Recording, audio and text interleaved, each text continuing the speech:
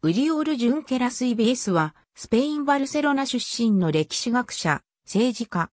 2011年6月1日から、サンビセンス・ダルス・オルツ市長を、2011年9月17日から、カタルーニャ共和主義左翼党首を務めている。2009年から2012年まで、欧州議会議員であり、2012年からカタルーニャ州議会議員である。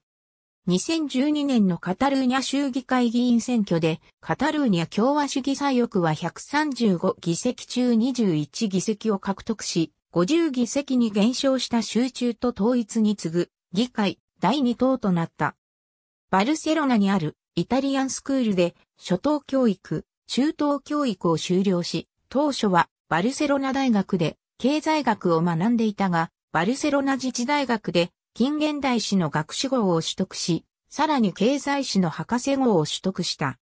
博士論文では、地中海西部の現代の経済思想を分析し、17世紀最初の10年間のイギリス帝国やカスティーリャ王国との類似点を明らかにしている。大学卒業後、ジュンケラスはバルセロナ自治大学の近現代史学科の教授となった。また、カタルーニャ地方のラジオ局やテレビ局が放送する歴史に関する番組の数々に出演している。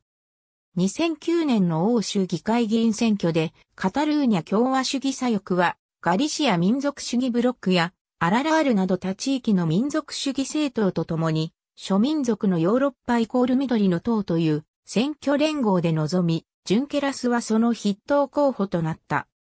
諸民族のヨーロッパイコール緑の党は1議席を獲得し、ジュンケラスは欧州議会では欧州緑グループ、欧州自由連盟に属した。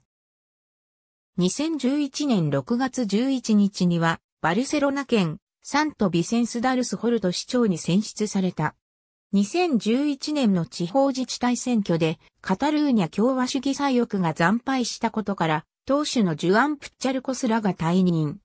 9月17日には総選挙に向けた党内選考が行われ、対立候補がいなかったジュンケラスは92.07%の支持を得て党首に就任した。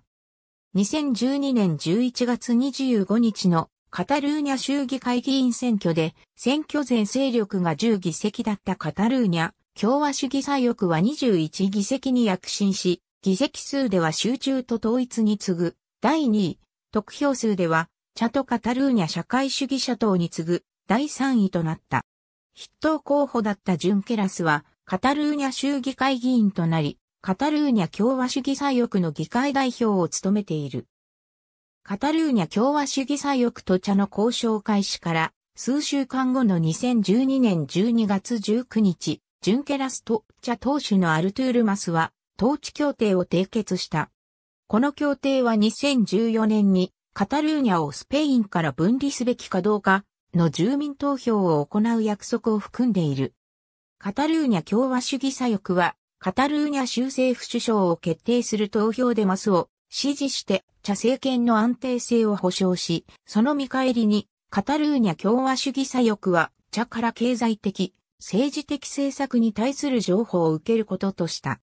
カタルーニャ社会主義者党とカタルーニャ緑のイニシアティブは、災害野党党首の地位が与党との統治協定を結んだ政党の党首に保持されるべきではないと主張して異議を唱えたが、2013年1月、カタルーニャ州議会議長のヌリアーデ・ヒスペルトは、ジュンケラスを最大野党党首に指名した。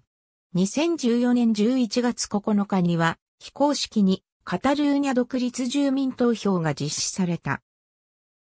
2019年、カタルーニャ独立住民投票を強行したとして、反乱罪で有罪となり収監された。2021年6月22日、スペイン政府は、ジュンケラスラクインに対する恩赦を決定した。ありがとうございます。